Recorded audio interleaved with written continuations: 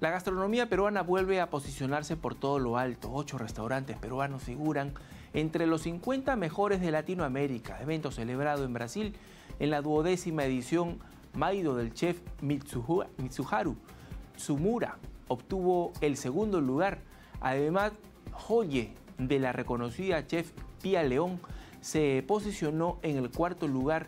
En esa línea el restaurante Mérito alcanzó la octava casilla. Los restaurantes peruanos Maita, Rafael, Cosme, Lamar y Mil también figuran en el ranking. El jefe de la Oficina de Estrategia de Imagen y Marca País de PROM Perú, Daniel Cabero, destacó que nuestro país haya sido elegido por los World Travel Awards como mejor destino cultural culinario y mejor atracción turística líder agregó que con este reconocimiento se espera que el sector turismo siga desarrollándose y recupere las cifras prepandemia. Según estudios de PROM Perú, más de 175 mil turistas extranjeros llegaron a nuestro territorio en el 2023. Asimismo, la estrategia Perú Mucho Gusto promueve la gastronomía regional y también fomenta el turismo.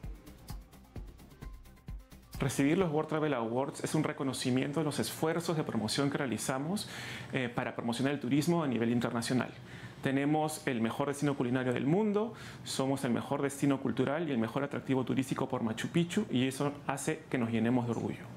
Los World Travel Awards son reconocidos como los premios más reputados de la industria de viajes y turismo de todo el mundo. Eh, recibir estos premios significa que el destino cuenta con destinos de primer nivel y de calidad para todo el mundo.